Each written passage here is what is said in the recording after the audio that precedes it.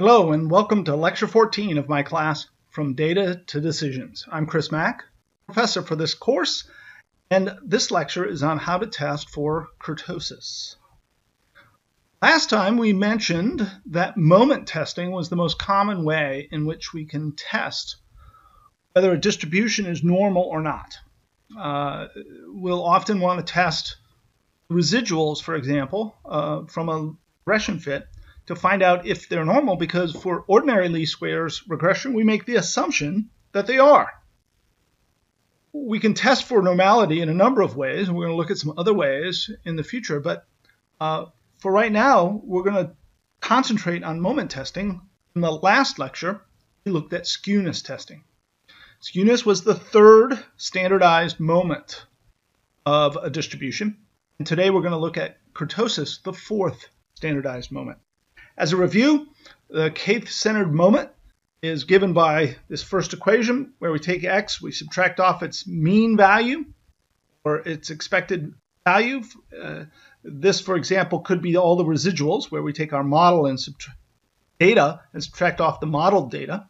So the residual raised to the kth power multiplied by the probability distribution function, the data, integrate that all values, and that becomes our kth-centered moment.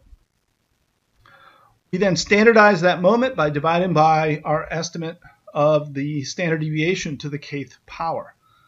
Phi sub 3 was called skewness, and we looked at a test for skewness last time. Here we're going to look at kurtosis, which is the fourth standardized moment. In particular, take phi sub 4, the fourth standardized moment, subtract off 3, and we'll call that quantity, gamma 2, the excess kurtosis. Uh, why do we subtract off 3? Recall from last lecture that 3 was the value of phi sub 4, the fourth standardized moment, for the case of a normal distribution. So if I subtract off 3, and if gamma 2 is positive, that means we have more kurtosis than we ha- than a normal distribution. And if gamma 2 is negative, we have less kurtosis than a, uh, a normal distribution. Now, sometimes we call gamma 2 the kurtosis. Sometimes we call phi 4 the kurtosis. And so uh, many people, I think I have to admit myself included, will use those terms somewhat ambiguously. However, the term excess kurtosis is very standardized if I say excess kurtosis, you know I mean gamma 2. That is the amount in excess of a normal distribution. So I'll try and be uh, more explicit as I talk to refer to the excess kurtosis as the thing that we're testing. However, I'm sure I'll slip up and call it kurtosis every now and again.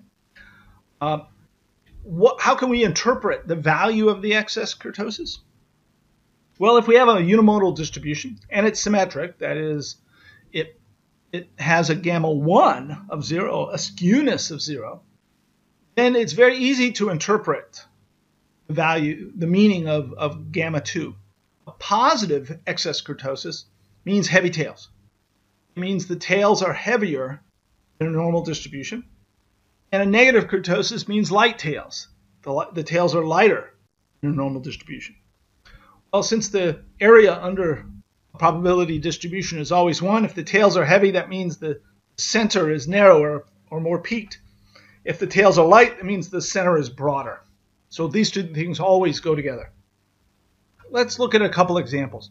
Maybe the easiest example to see is the student's t distribution. Uh, hopefully you've seen the student's t distribution many times before. And if you compare student's t distribution to a normal distribution, you find that the tails are heavier.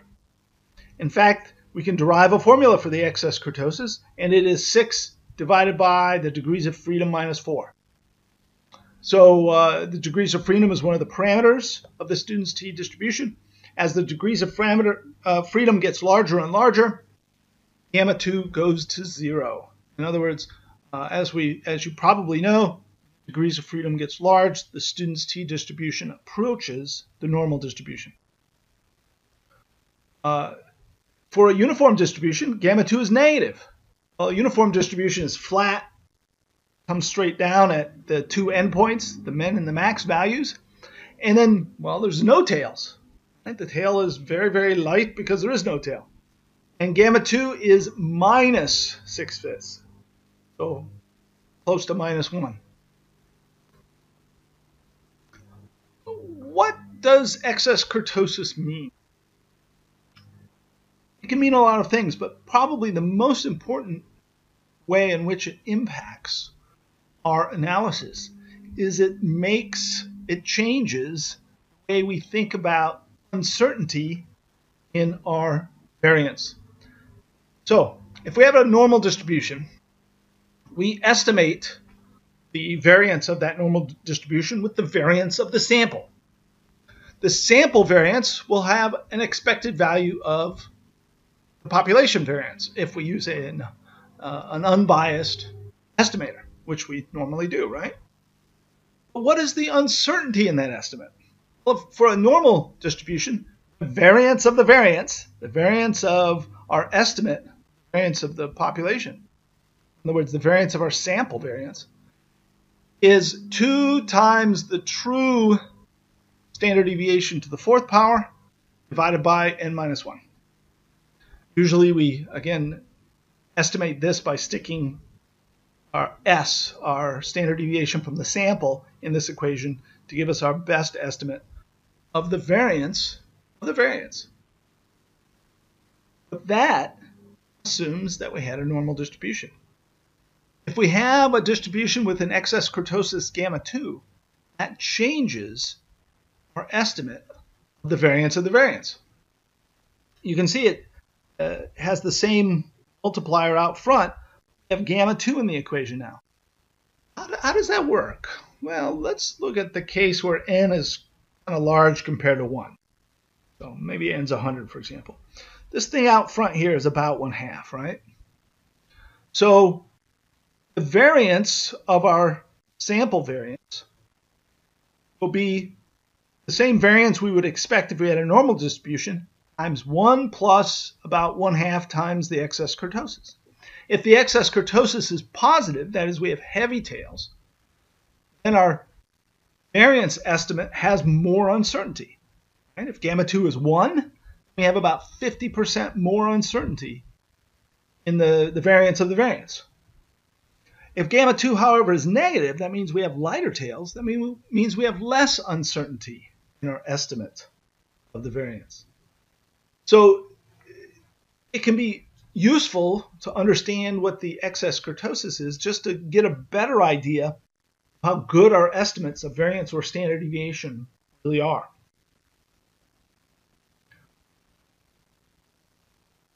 Kurtosis was defined in a couple of slides ago, but generally we don't have the true population and its PDF.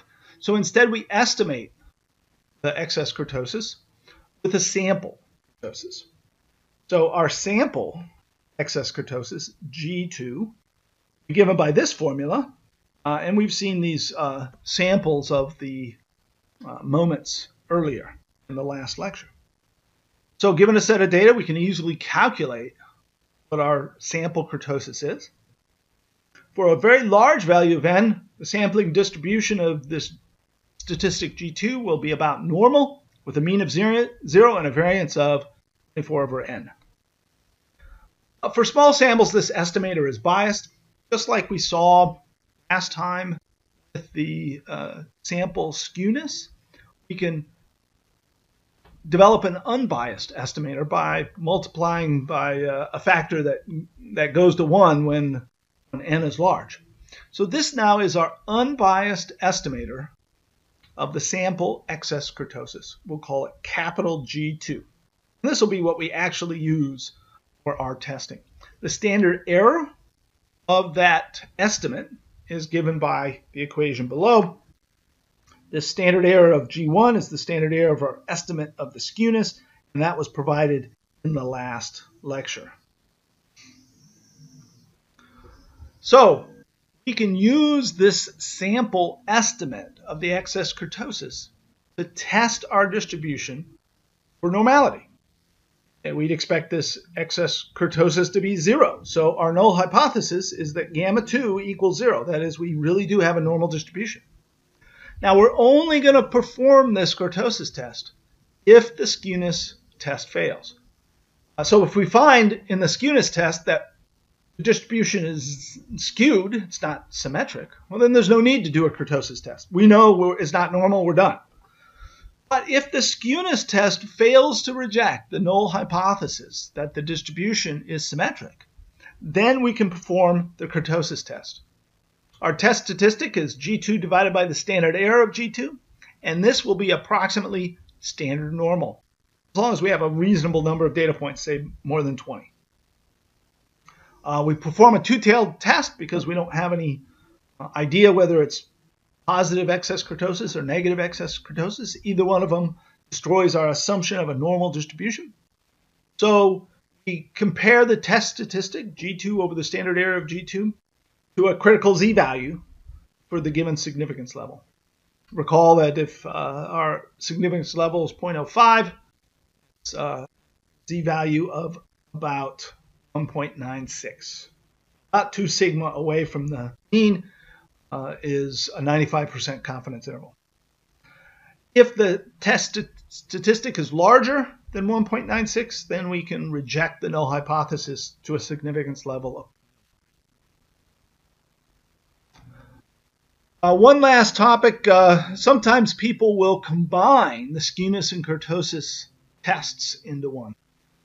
Uh, the skewness statistic is G1 over the standard error of G1. Our kurtosis statistic is G2 over the standard error of G2. Both of these are normally distributed under the null hypothesis. Therefore, if I, if I square them and sum them together, uh, I would expect to get a distribution that is chi-squared with two degrees of freedom. Uh, this is pretty much just the definition of chi-squared.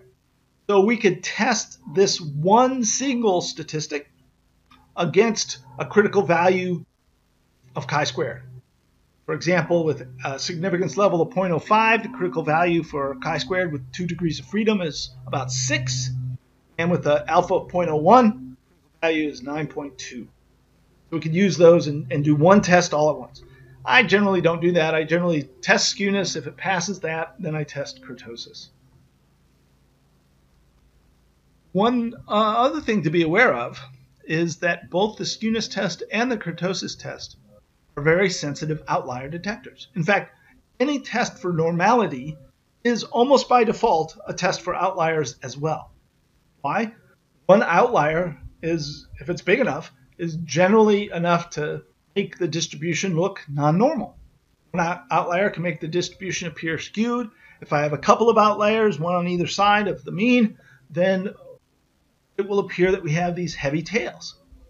So often, not always, but often we'll fail a skewness test or a kurtosis test because of the presence of outliers. Therefore, once you've failed one of these tests, you need to go and look at why you might have failed test. And we're going to talk about outlier detection, what to do about outliers in subsequent lectures. So what have we learned in lecture 14? As always, you should be able to quickly and easily answer these questions. If not, you need to review the materials. How is kurtosis defined? I'll remind you again, I'm not expecting anyone to memorize equations here. You need to be able to find the equation when you need it. For positive excess kurtosis, what is the shape of the PDF, the probability distribution function? And similarly, what does that shape look like for negative excess kurtosis? And finally, you should be able to test a sample data set for excess kurtosis. What is the test statistic that we use and what is its sampling distribution? How do you perform that test? You should be able to do that. That's it for lecture 14. Till next time.